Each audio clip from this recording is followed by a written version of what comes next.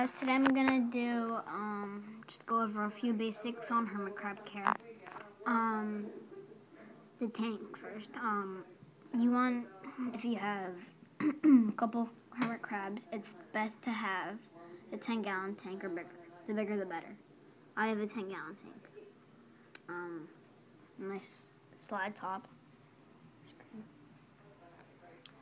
Um, the food is also very important. Without the food, your crabs will die. Obviously, like all living beings. The treats, you don't have to have treats, but I like to have treats for my crabs. Fresh and salt water. It's also very important.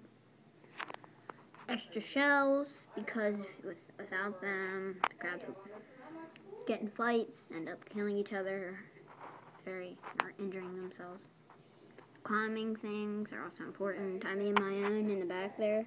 Piece of wood with slats in it. Went to the beach last year and found that. It was a piece of driftwood, but then I cut little slats in it. Um, little shell. I mean, not a little shell, pretty big shell back there. Some wood for them to climb on around the shell. And the shell's kind of like a little hut. But a lot of them are in that hut right now. It's a nice little pine.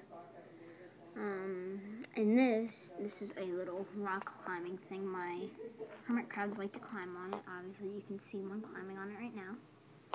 Um, those rocks were free. I went to the beach, and it's actually called conch, conch, conch, something like that. It's like something that forms in the bottom of the ocean, and I collected a bunch of that and just stacked it up in a pile. So, you know, it's also very important to um, keep it, keep the substrate moist.